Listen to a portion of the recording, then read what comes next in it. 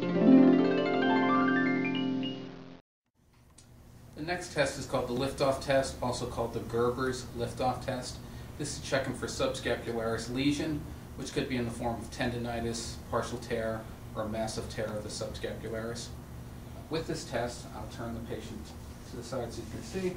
We'll place the arm in internal rotation with the dorsal aspect of the hand on the small of the back, curvature of the back, and we will ask her to do internal rotation. Basically, I'm asking her to push away, and I will resist her, and we're checking for strength, and checking also if this elicits any discomfort. Okay, so hold there and push against my hand.